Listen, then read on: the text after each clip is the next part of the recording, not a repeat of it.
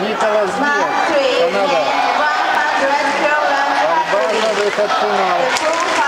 На Олимпиаде два года назад они встречались в финале. Чисто победа Брастон Мейтон под шатом выиграл финал. За полторы минуты.